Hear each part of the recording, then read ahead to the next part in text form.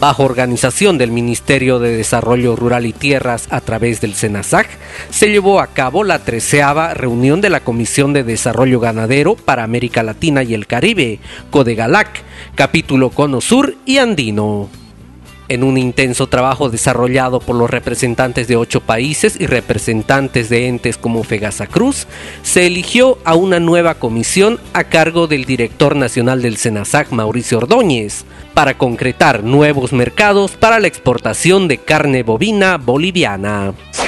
Justamente estamos eh, conformando una comisión eh, a la cabeza del ministro César Cocarico eh, para poder viajar hasta París, ¿no? a, la, Asamblea General de la Organización Mundial de Sanidad Animal OIE en París, donde eh, se está conformando una, misión público-privada a la cabeza del ministro, está el SENASAC, está la CADEX, está Fe, con Gabol, ¿no? con Fegasa Cruz y Fegaveni, están yendo algunos productores, algunos frigoríficos también, y vamos a establecer una agenda en el marco de, la Asamblea.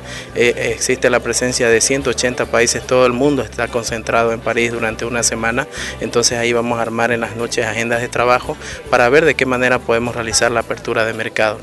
Eh, si bien es cierto, hay una política agresiva eh, por parte de nuestro hermano presidente Evo Morales y hay unas metas que cumplir hasta el 2020 11 millones de cabezas, pero nosotros queremos como ministerio también realizar el acompañamiento al sector privado, viendo el tema de la apertura de mercados y poner en condiciones que la producción, ¿no? primero se garantice la producción nacional, los excedentes puedan ser exportados y tengan los mercados atractivos y los mercados que soliciten nuestros exportadores al mundo. ¿no?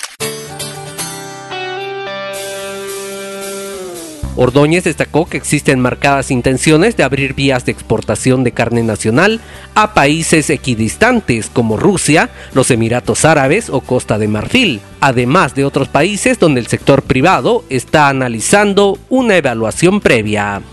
Seguramente nos vamos a reunir con todos estos países, eh, se ha logrado identificar eh, estos países con prioridad, pero seguramente el sector privado está realizando ya el análisis comercial y, ¿no? y haciendo su evaluación comercial con otros países y nos van a solicitar que nosotros eh, bueno, hagamos o, concretemos reuniones donde ellos puedan tener participación y veamos de qué manera podemos viabilizar el tema de la apertura de mercado.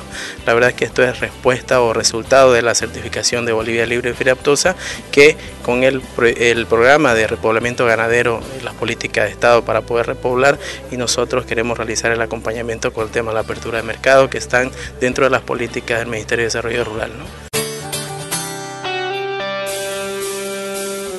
Ordóñez especificó que actualmente existe la habilitación de 7.000 toneladas métricas de carne bovina para su exportación, pero también se habla de excedentes oscilantes entre 14 y 16 mil toneladas métricas, los cuales serían posibilitados de manera paulatina. El año pasado se ha hecho una habilitación de, de mil toneladas, ¿no? Ahora se habla justamente de 14 mil, entre 14 mil y 16 mil toneladas.